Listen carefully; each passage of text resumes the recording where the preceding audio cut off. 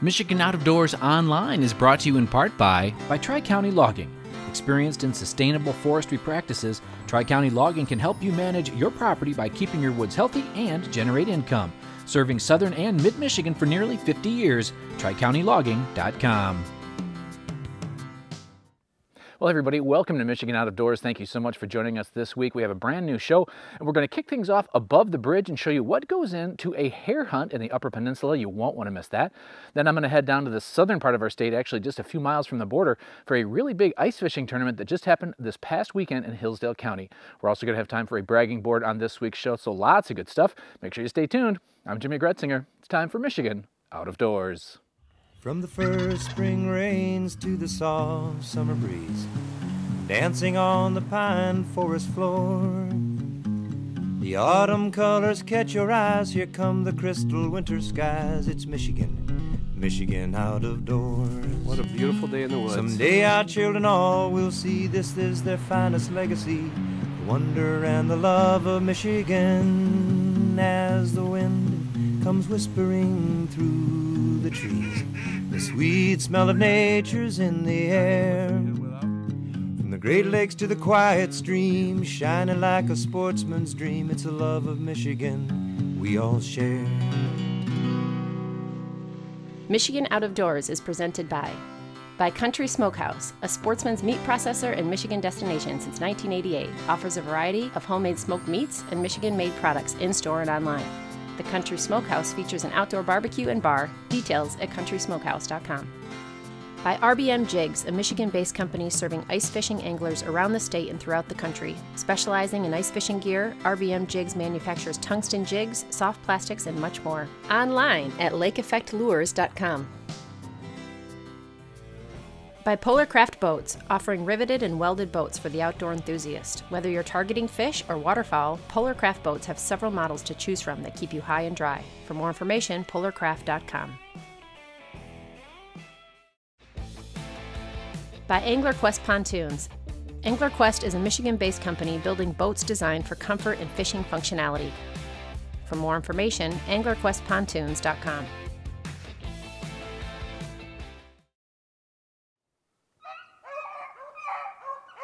thank you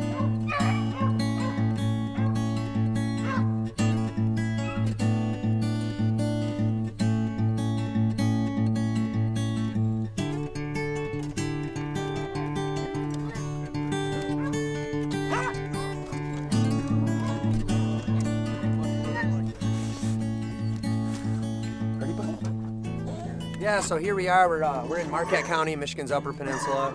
Um, we're to be running snowshoe hare today. Um, we're to have my two dogs. We got my older dog on the right there, and that's Snake. And then we got uh, Buck on the left, seven and a half year old and uh, two and a half year old. And you can hear there that they're uh, they're fired up. They're into it. Um, we do this all winter long.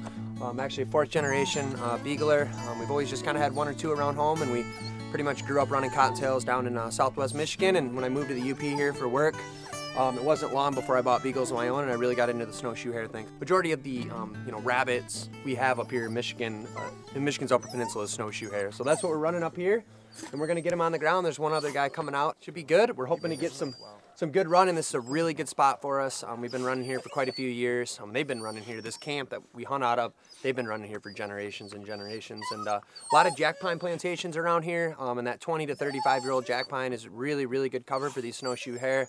And this particular plantation we're in is around 40 to 60 acres, and it backs up um, to a swamp and a river. So not only do they have the jack pine for cover, they also have the swamp area. So we should it shouldn't be long before we should get some rolling here.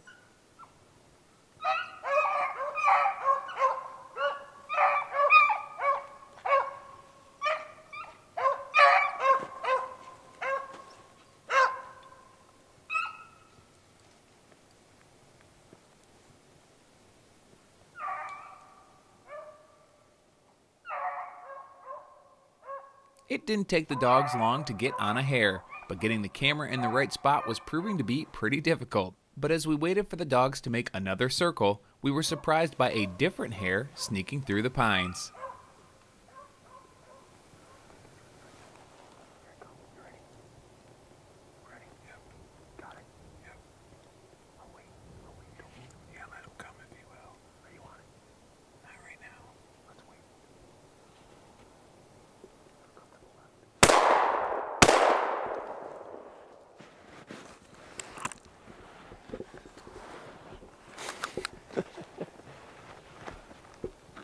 That's the problem with hunting and filming. Did he get away? I don't know. Throw a prayer in there. I saw him come in there, but then I couldn't see him after he got Yeah. behind it. Just as I was trying to get in better position to see the hare with the camera, it took off. And although Coulter did get a couple of shots, this one got away. We hunted for a little while longer and called it a night, with plans to meet up in a few days to try it again. During that time, the weather changed and added about a foot of fresh snow to the landscape. This hunt started at a small cabin tucked way back into the UP wilderness, where I'd be tagging along with Coulter and a few other hunters as well.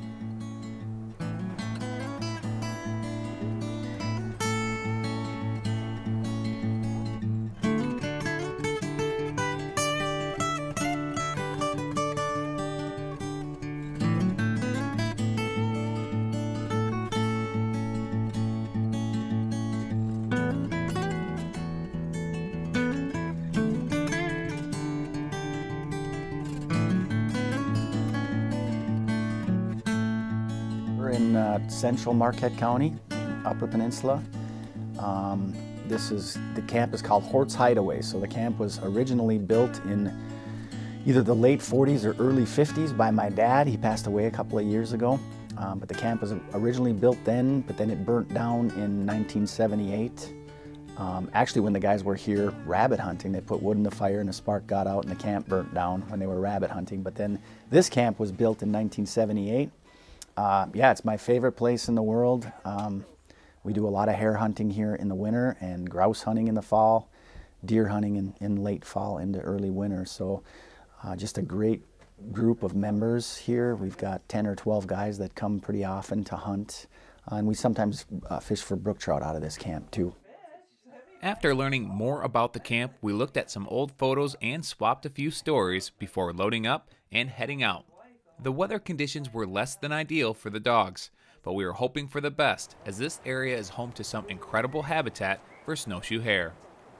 What we're going to do today is we're going to just walk into a stand. It's a large jack pine, red pine plantation, a mixed plantation. It's about 30 years old, but there's a lot of wind throw um, from the storm last year, which really creates great hare habitat, especially when those stands are starting to age out because they've got to have that low-lying conifer. It's really important for snowshoe hare. But, but generally, the UP is very good habitat, but not like it once was. And that's because of the way we manage our forests primarily. So if you have plantations, because the survivorship in plantations is much better than it used to be because they're using containerized stock, they're using a broader spacing in plantations. Hares require, you know, thousands of stems per acre, just like grouse do in aspen. Hares demand the same thing in conifer stands, either young jack, red pine stands, balsam fir, black, white spruce. Um, so that's the prime habitat. We don't have that much habitat anymore. And as you know, in the northern lower peninsula, hare numbers are not what they once were. So, um, and a lot of people don't pay attention to that. And you know, I wish they would. I wish we'd spend more time managing for low-lying conifer for snowshoe hare and many other game and non-game wildlife species depend on that particular habitat type. As expected, the conditions were tough, but after a couple of hours of hunting, one of the guys managed to catch up with the elusive white ghost. Ty, my beagle, went in the woods and with all this fresh snow, it's kind of hard to get a track going and she's swimming in it because it goes right to the ground. And about 80 yards out, she started to bark and watching her on the GPS, I knew she was coming right at us and Coulter was about 80 yards away and um, I saw a flash and it stopped for me so I didn't have to take a running shot. So a couple shots to knock it down and call it good for the day. It's been a tough one out here. Very tough, very tough. Yep. Yeah, dogs are 80 yards and you can barely hear them because all the snow on the trees. So, and the wind and the cold, it makes it hard. Yeah, but good times as always. Great group of guys. Filming hare hunts can be pretty difficult, and that's something Coulter knows all about as he's been trying to film his own hunts over the last few years. I film um, for TKZ Outdoors, it's the Kill Zone. It was actually something that was started in 2009 in the Thumb of Michigan with a group of seven to nine guys, all family and friends. And, and one of those um, guys is one of my really good friends and coworkers up here in the UP. So I started to hunt with him, hang out with him, and, and I just kind of became interested in, in filming just because I thought it was a good way to, you know, kind of capture the experience. And I guess, you know, I, I love deer hunting. Um, i am a pretty decent deer hunter. I'm not a very good filmer of deer hunting, I've noticed. I miss a lot of great opportunities, but I figured my niche and kind of in our, you know, we're not trying to get rich doing it. We're probably not, of course, but I, my niche and kind of this, you know, the TKZ Outdoors has been the small game because I, I'm the most experienced one with it in the group and I have the dogs and I do it the most. So, and I really realized that, you know, and I've shot a lot of cottontail rabbits and I, already in the few years that I've been hare hunting, I've shot a lot of hares. So to me, it's becoming more and more important to just share that experience with others um, and, and less about me in particular shooting. You know, I love hares getting shot because I think it is a you know awesome experience for, for new hunters and people to experience that. And it's really been cool to try to capture it on film. And it is very difficult to do, but I'm lucky enough to capture, capture the moment. It's something that those people can take with them um, and they can view for, you know, hopefully forever. Deep snow, high winds, and frigid temperatures made for some tough hunting conditions, but it was still a fun couple of days above the bridge. Special thanks to Coulter, Kevin, and the rest of the crew for letting me tag along on a fun couple of days here in Michigan's Upper Peninsula. Come up, come up, go.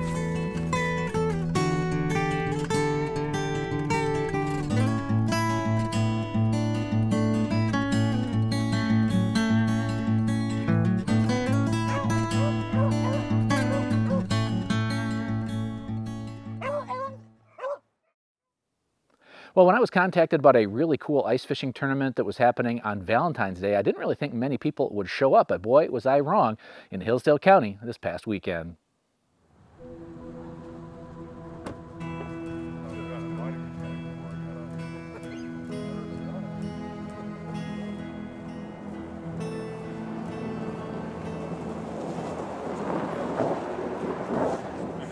Well, we're just a few minutes from the, the takeoff of the fifth annual Baw Beese Open.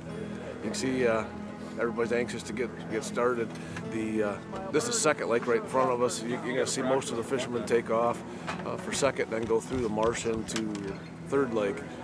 It's fun when they start out because some guys get pretty excited, want to beat everybody to the spot. You'll see some guys running. Some guys will put harnesses around their midsection and, and, and run. So it, will be pretty interesting at the start. How many years have you been doing this? I believe this is the fifth fifth year, and uh, we just ended up. We got 34 teams signed up today. Uh, we've been as high as, as 50, 60 teams in the past when the weather's a little warmer and it doesn't fall on right on Valentine's Day. But uh, pretty good turnout for Valentine's Day. It is, and this, you know, it's even though it's an open and anybody can enter, it's still still part of our Branch County Panfish League, and we we fish every weekend, so. It, for the guys that are in the club, it's a it's a points event too. So oh. they they couldn't miss it. We're right towards the end of the season, so it's going to count for a lot of points. And how many tournaments do you have? Uh, we we had ten scoring events this year. Wow. So That's a big it, deal. And there's some good fishermen in this club. I mean, there's guys that have fished on the Clam Pro circuit and that, that kind of thing. And um, we fish some, some really good lakes in southern Michigan. So I, I, expect some pretty good fish caught today, and then when we get back to the American Legion for the weigh-in, they have a fish contest and a fish board there too, so the guys can enter their fish on in both contests. Okay. So, now, can someone who's not part of the club come and fish this then, or? Oh yeah, okay. yeah. We don't require membership. People can come come and go, but uh, if they fish three events during the year, then they qualify for the Classic Championship, which is next weekend. Okay. And then if you fish four or more, you qualify for the points. And the. what they do is they count your four best finishes for the year. Wow. And and then every week we have you know a, a bonus pots for you know big crappie, big perch, bluegill, pike. So you know tip like like today you know to, total payout is is going to be you know probably a little over two thousand dollars between the pots. Wow. And you run all this through, you have an outdoor shop around here? Uh, yeah, I, have owned Litchfield Outdoors for 22 years. I got involved with the club, the, uh, work with Alan Ebert and the Branch County Panfish Club, and okay. between the two of us, we've been able to kind of build it up. We've, we've, uh, we've had over 100 teams this year fishing the circuit. Wow. so in our, in our points book, we've got like 102 teams.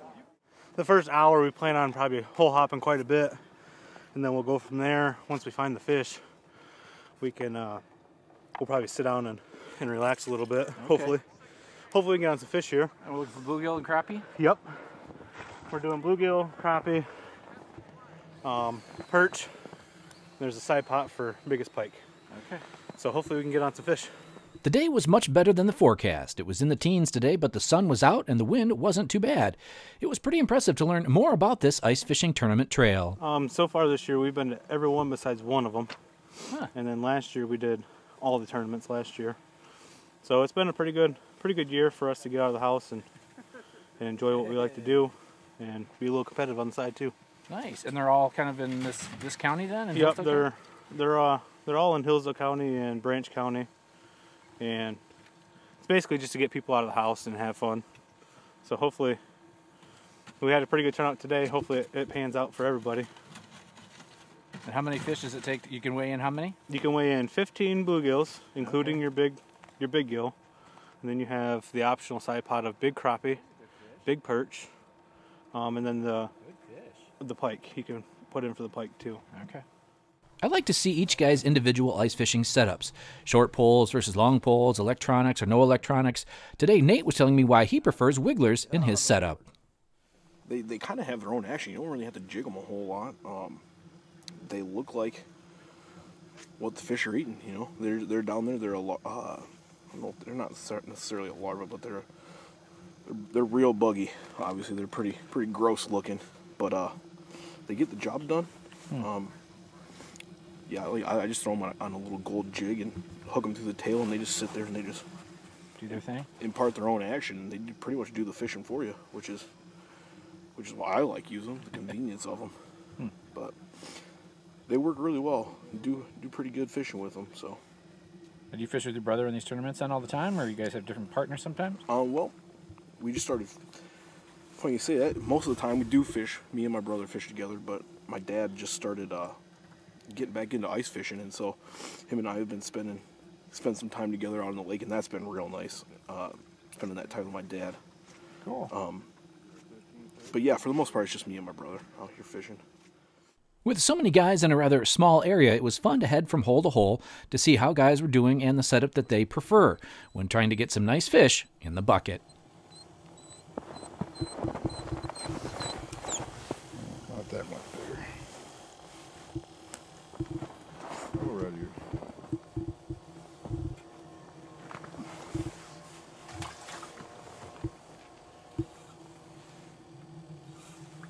Yeah, one of the guys in the club makes these. Barry Williams does. Huh. He does the uh, spooky flies. He makes his own, own hand hand tied flies, tungsten flies, and tungsten jigs and all that stuff. He's from Brooklyn. He's, Hmm. He does a good job. You like those short rods like Oh, that? I love them. Yeah. A lot better control. Hmm. A lot better feel. I see these guys using these four footers and stuff like that, and I just I don't like them. Hmm. Well, we were not setting the world on fire today, but we were finding some fish, but not any big fish. But what a great way to spend a day out with buddies on the ice with some pretty steady action. Get the tape measure. The monster. Oh yeah.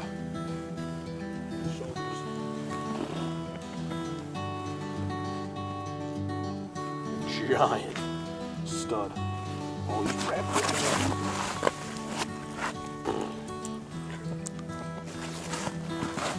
it. Just giving the people what they want.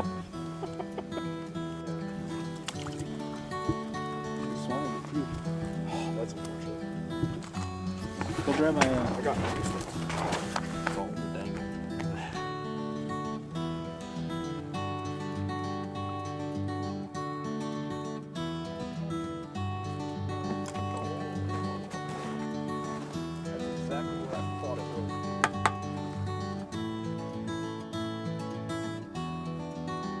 This is this will be our second year fishing these tournaments.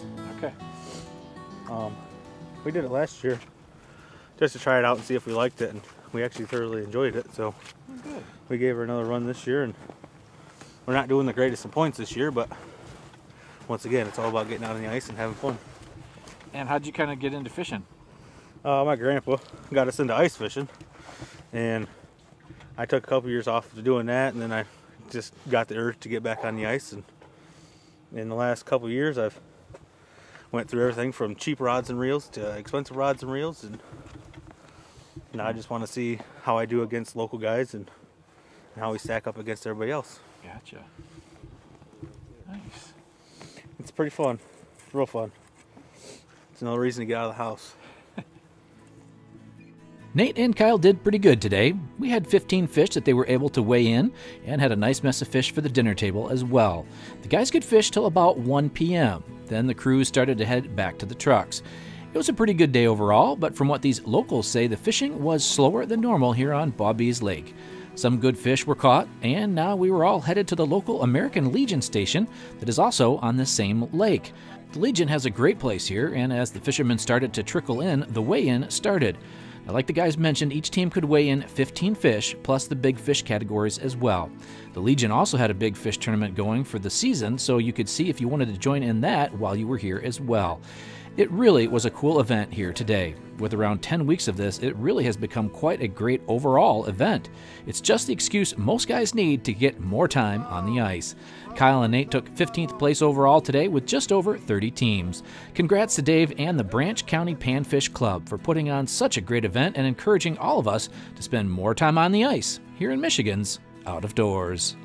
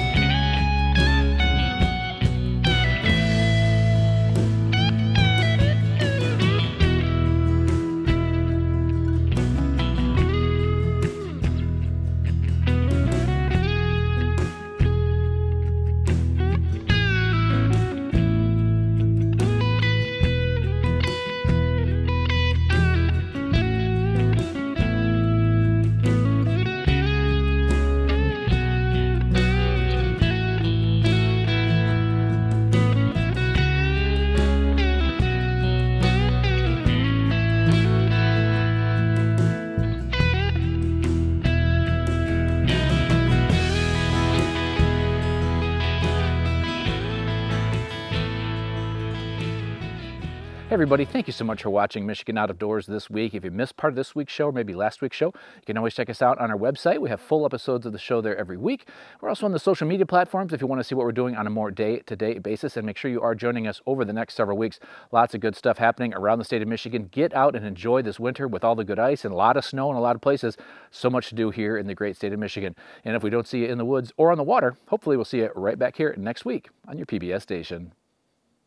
Michigan Out of Doors is presented by do you dream of somewhere bigger than your backyard? You can get there with Greenstone. Whether you want to hunt, fish, hike, or just watch the sunset, we're ready to help you own your place in the great outdoors. To learn more, visit greenstonefcs.com. By Showspan, producing sports shows such as the Ultimate Fishing Show Detroit at the Suburban Collection Showplace with new dates for 2021, now being held March 25th through 28th. The Ultimate Fishing Show is now in March. By Polarcraft Boats, offering riveted and welded boats for the outdoor enthusiast. Whether you're targeting fish or waterfowl, Polar Craft Boats have several models to choose from that keep you high and dry. For more information, polarcraft.com. By Angler Quest Pontoons. Angler Quest is a Michigan based company building boats designed for comfort and fishing functionality. For more information, anglerquestpontoons.com. Closed captioning provided by Marvo Mineral, makers of Lucky Buck, deer management products including minerals to supplement deer diets year round to improve health and antler growth. When I wander far away, a dream stays with me night and day. It's the road that leads to my home state. I am a Michigan man.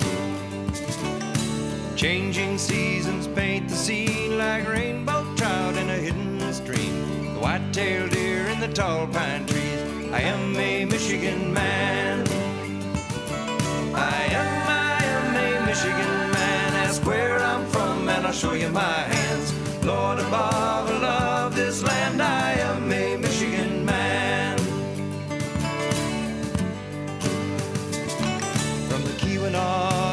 St. Joe, Kalamazoo, East to Monroe, to St. Marie and back again.